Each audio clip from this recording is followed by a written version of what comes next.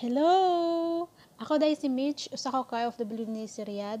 Ah, since nga nagagamit ko og STC SIM card, uh, dunay nangutana sa ko sa Facebook na naingon siya nga saan saan pagi daw nako na change ang akong language into English.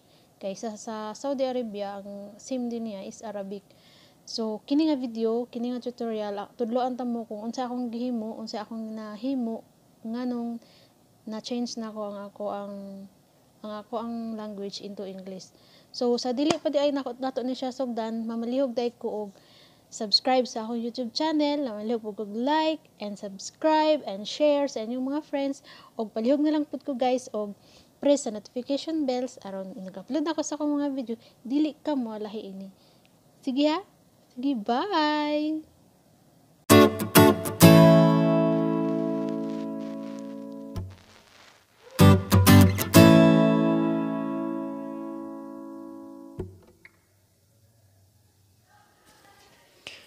Ang first way ani guys, download kag STC app. Download ka niya open nimo. Di ba na itulo ka data tulo ka baglis.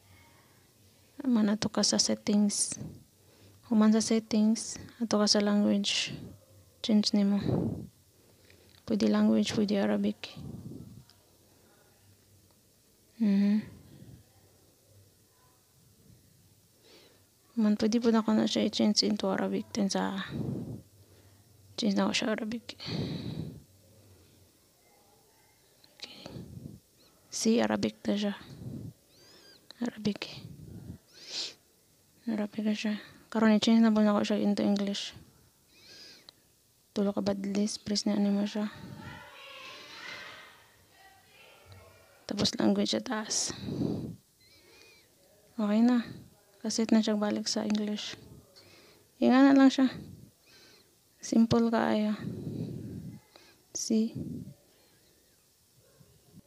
Is diri ta second way kung unsaon.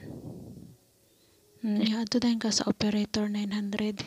I-type nimo ang 1390 cent. And then reply din na lang. Inganaon lang siya guys. Reply din na lang operator. Inganaon lang siya. Dali ra kayo. Base. Ora to siya guys. I hope na nakatabang ko sa inyong problema babahin sa language setting.